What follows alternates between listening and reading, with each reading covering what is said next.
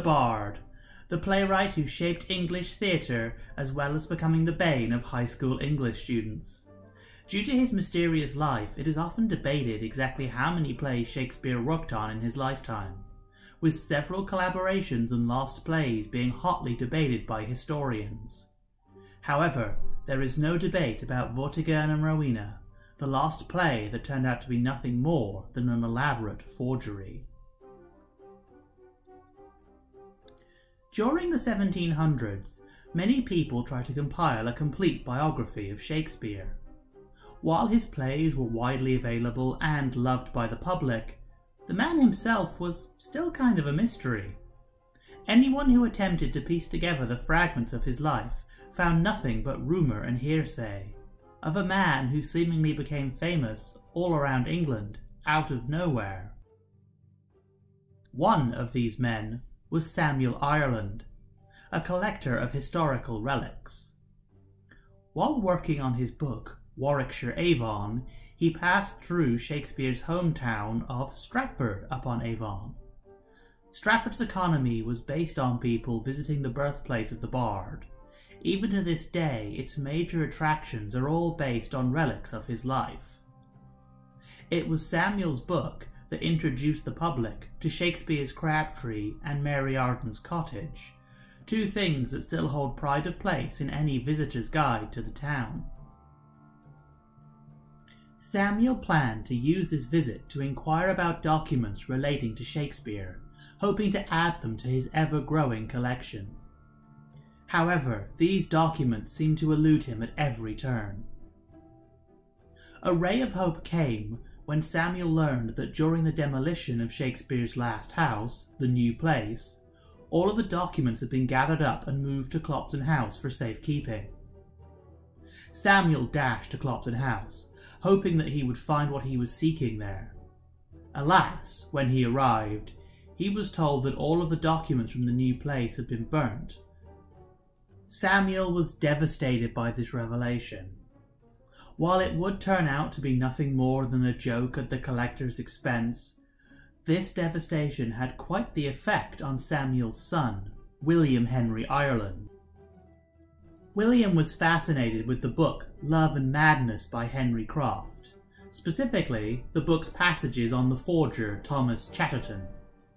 And thus, with a desire to please his father, William decided to start forging. Luckily for William, he met a man in a bookbinder's who explained how to simulate historic paper by writing on it with a special ink and then heating the paper over a candle flame. This technique would allow William to make his first documents. These documents turned out so well that in the December of 1794, William set about making a document that bore William Shakespeare's signature. William's job at a legal firm gave him access to various Elizabethan and Jacobean deeds. William took one of these documents and cut out part of the parchment and used the ink technique to create a mortgage deed. On the one side, this document was between Michael Fraser and his wife. However, on the reverse, this document was between Shakespeare and John Hemmings. This was a logical choice, as Hemmings was an actor in The King's Men, a theatrical company which Shakespeare wrote for, and Hemmings was also the editor of the first folio of Shakespeare's works. William copied Shakespeare's signature from a 1612 mortgage deed. William would say that he got this signature from a book written by Johnson Stevens. However, the specific deed was not actually in that book, and in fact, came from a book by the Irish Shakespeare scholar Malone. There are reasons why William may not want to credit Malone, which you'll find out later. To make this fake document look even more authentic, William removed a seal from another deed and attached it to his fake one. When William presented this to his father on the 16th of December, Samuel accepted it as genuine he even took it to the herald's office, who failed to see through the forgery. Of course, Samuel was a collector. he was curious as to just how William had acquired this document. William quickly made up a story, saying that he had found the document in an old trunk belonging to a chance acquaintance. William said that this acquaintance didn't wish to be named and thus only referred to him as Mr. H. To sweeten the story, William said that there may be more documents in that trunk, and quickly produced a second forgery, this time of a promissory note from Shakespeare to Hemings. His confidence buoyed by this success, William moved on to more involved creations. At a party, William overheard one of his father's friends mention that Henry Wriothesley, the third Earl of Southampton, was one of Shakespeare's patrons. William started to furiously research with the aim of making a correspondence between the Earl and Shakespeare. This correspondence ended up reading Dost not esteem me a sluggard, nor tardy for thus having delay to answer, or rather to thank you for your great bounty, said Shakespeare, only for the Earl to reply back with Gratitude is all I have to utter, and that is too great and too sublime a feeling for poor mortals to express, O my lord. It is a bud which blossoms, blooms, but never dies. As I have been thy friend, so I will continue at that I can do for thee. Pray command me, and you shall find me.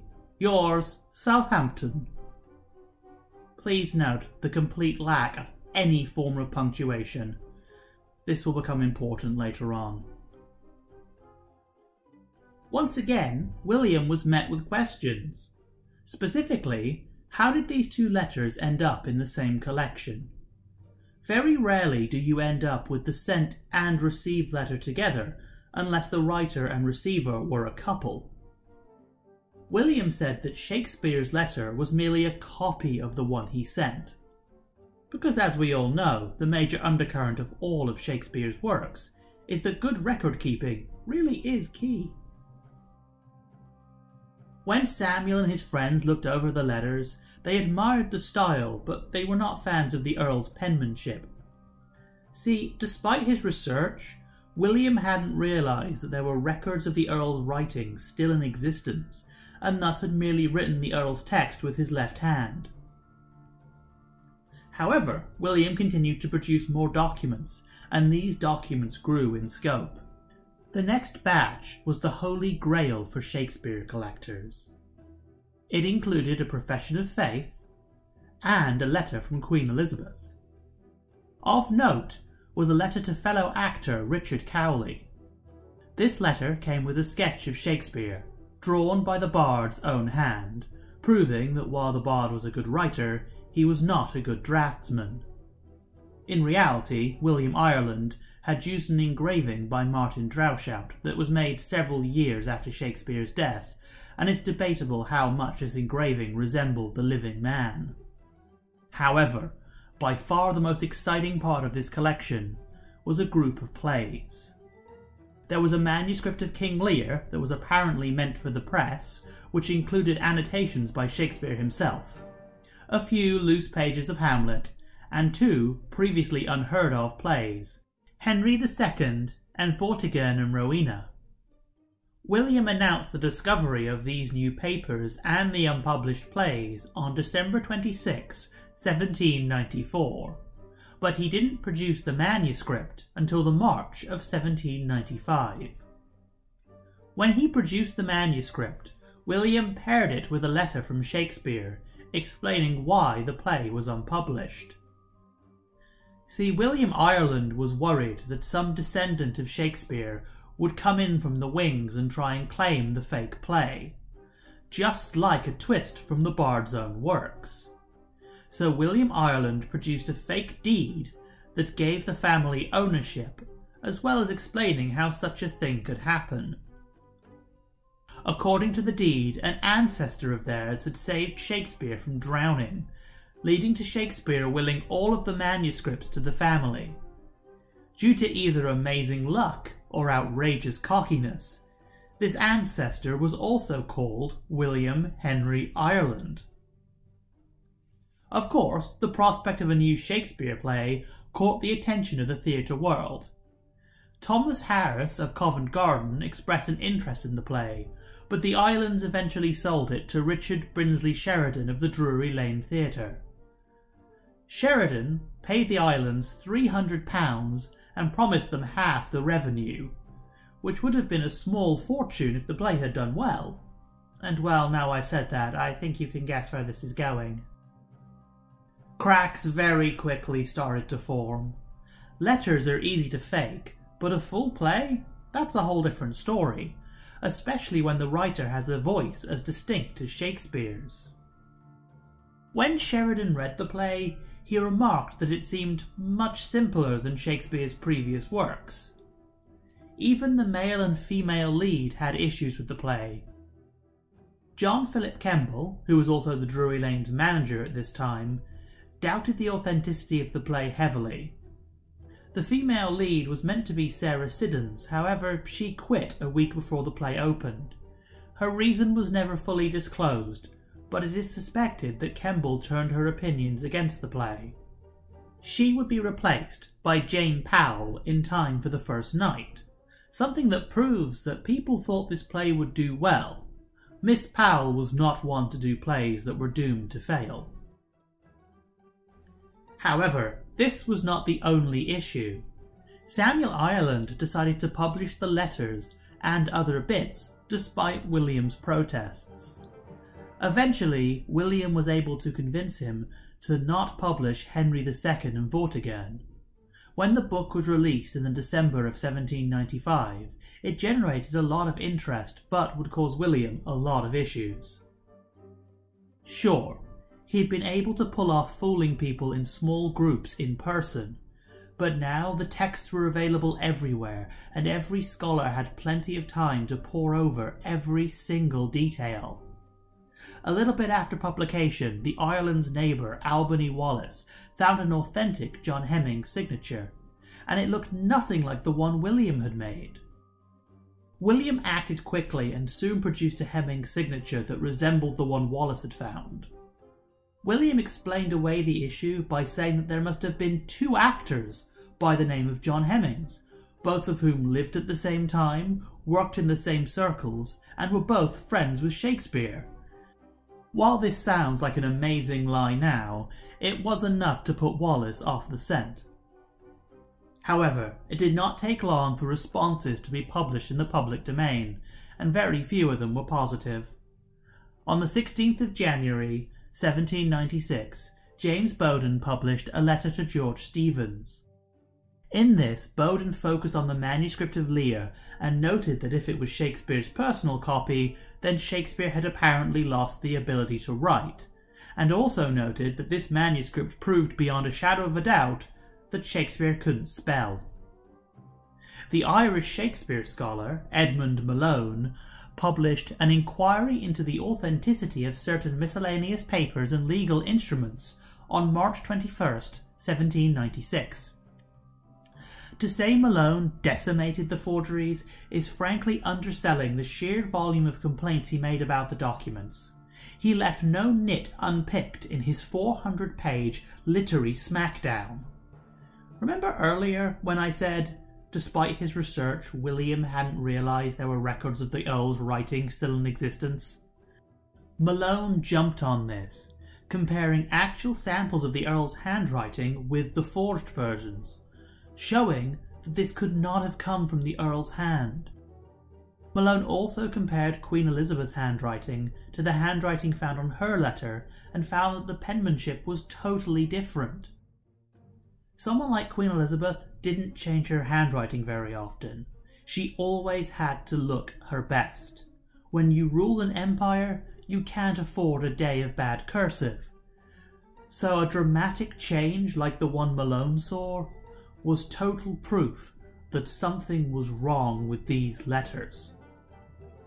He also decimated the spelling and grammar, pointing out that the grammar was not only wrong for Shakespeare's time period, but it was wrong for any time period. a lot of the words were used in a different manner in Shakespeare's time, and several words just hadn't been invented at the time the letters were supposedly written. This was butchered ye olde English that was only fit to be in a terrible fantasy novel. But the most damning was the list of historical inaccuracies. The biggest of which was a letter that referenced the Globe Theatre several years before it had actually been built, proving, without a shadow of a doubt, that the documents were a modern concoction. This, at its core, was the issue. William was a good forger and had learned a lot of history from his father. However, when against actual scholars who had records and archives at their disposal, William was out of his depth. Despite this, the play would open on April 2nd, 1796, at the Drury Lane Theatre. This was the hot ticket event of the year. It was near impossible to secure yourself a seat. If the performance had gotten a good reaction, it might have been able to save the scheme, or at least tilt the public against Malone. However, as you can likely guess, this wasn't to be. The audience seemed excited at first, but soon fits of laughter broke out amongst the crowd. This laughter got so intense that the play had to be stopped until the audience were able to get themselves under control. The most famous part of the performance came when Kemble repeated the line, and when this solemn mockery is o'er, twice, something that was seen by many as him voicing his opinion on the play's authenticity. The play did so badly that when a second date was announced, the audience went into chaos and refused to calm down until the play was swapped out for another. Imagine that! A play that is so hated, the audience riot at the mere idea of a second showing. An audience that refuses to calm down until a different play is subbed in. Unsurprisingly, the play's opening night was also its last night making it a member of a very small club. Samuel Ireland blamed Kemble for the failure of the play, as well as a Malone faction who sided with Malone's opinion of the documents. However, most people were of the opinion that the play was bad at best and unwatchable at worst. So what was the problem with Vortigern and Rowena? Well, to discuss that, we actually need to summarise what the play was about. The play pulled from English folklore, with the legendary King Constantius offering half his crown to his advisor Vortigern in return for loyal service. The real Constantius was co-emperor of the Roman Empire, so this made sense. In traditional Shakespearean form, Vortigern immediately starts plotting to murder the king and get all of the crown for himself, something that he pulls off with relative ease. At the same time, the court fool warns Vortigern's children, Pascentius and Flavia, of bad times ahead, and they decide that of all the people in the court, the most trustworthy person is, of course, the professional idiot, and decide to leave the castle with the fool in tow. This escape is pulled off via the Shakespearean tradition of Flavia dressing in drag. In Rome, Constantius's children, Aurelius and Uther, hear word of Vortigern's treachery and decide to leave Rome and go to Scotland to raise an army in an attempt to avenge their father. Upon hearing this, Vortigern summons his own army of Saxons to defend himself. This army is led by Hengist and Horus. In a move straight out of a rom-com, Vortigern falls in love with Hengist's daughter, Rowena, and proclaims her his queen. This sounds wonderful, aside from the fact that Vortigern is already married, and his wife isn't best pleased by this turn of events. She and Vortigern's two remaining sons, Wartimus and Cartagirius, flee, likely already seeing the writing on the wall. All of Vortigern's family join Aurelius and Uther's army, and Aurelius falls in love with Flavia. As is the tradition in such plays, Aurelius defeats Vortigern, but spares him, leaving the Fool to come to centre stage to give the final line of the play. The Fool points out that the play isn't very tragic because, none save the bad do fall, which draws no tear. Now, during this summary, you might have picked up on something. The play sounds like a lot of other Shakespeare plays. Now, the bard wasn't afraid of using repeated motifs, but this almost feels like a greatest hits collection. The jukebox musical of Shakespeare plays. There are bits of Macbeth, Hamlet, Much Ado, and the histories all bundled into one. It feels like someone trying to imitate Shakespeare, missing the spark that made his plays actually enjoyable. Malone's faults are magnified here. The language and flow just aren't the same as Shakespeare's. While it is easy to miss this or brush over it in a letter, when performed on stage it becomes very clear that this isn't the bard's work and was written by a totally different person. After the abject failure of the play, critics started to accuse Samuel of faking the whole thing, causing his book sales to tank. William confessed the deceit to his mother and sisters, however, Samuel refused to listen to him. He believed that all of the papers were totally genuine. He was so convinced of this fact that he edited and published the play in 1799, even including a foreword where he blamed and attacked Malone's findings. Samuel laid all of the blame at Malone's feet and dedicated himself to writing a book that would destroy the scholar's reputation. With help from Thomas Caldecott, Samuel published Investigation, where he attacked Malone for using forensic techniques rather than relying on his sense of aesthetics and taste, an argument that I can't see holding much weight at the time. And it holds even less now, frankly. In essence, Samuel believed that Malone should accept the plays because they resemble Shakespeare, not really caring if they were Shakespeare. William tried to salvage his father's reputation and tried to beat him to the punch with a book of his own. However, he was only able to publish a pamphlet. This pamphlet was released in 1805 and entitled Confessions, where William took credit for all of the deception and all of the forgeries. Alas, this pamphlet just made people very suspicious of both of the Irelands. Many people accused them of collusion, including George Steevens, who said, The hopeful youth takes on himself the guilt of the entire forgery, and strains hard to exculpate his worthy father from the slightest participation in it. The father, on the contrary, declares that his son had not sufficient abilities for the execution of so difficult a task. Between them, in short, there is a pretend quarrel, that they may not look as if they were acting in concert on the present occasion. William moved to France to avoid the controversy. However, upon his return to England in 1832, he tried to publish the play as his own work. However, it received little to no attention, and it did nothing to undo the scandal. Samuel's reputation never recovered. Two accounts, one in 1859 by Clement Mansfield Ingleby and one by George Dawson in 1888, took the opinion that Samuel was involved in the forgeries and knew full well the documents were fake from the very start. It wasn't until 1876 that there was a ray of hope. The British Museum acquired Samuel Ireland's papers and produced evidence that he was totally oblivious to the whole affair and that he had no idea that William was making these documents in an attempt to please him. Alas, it couldn't rejuvenate his career. And Vortigern and Rowena is now merely a footnote in the Bard's legacy, one of many plays that bore his name despite not coming from his hand.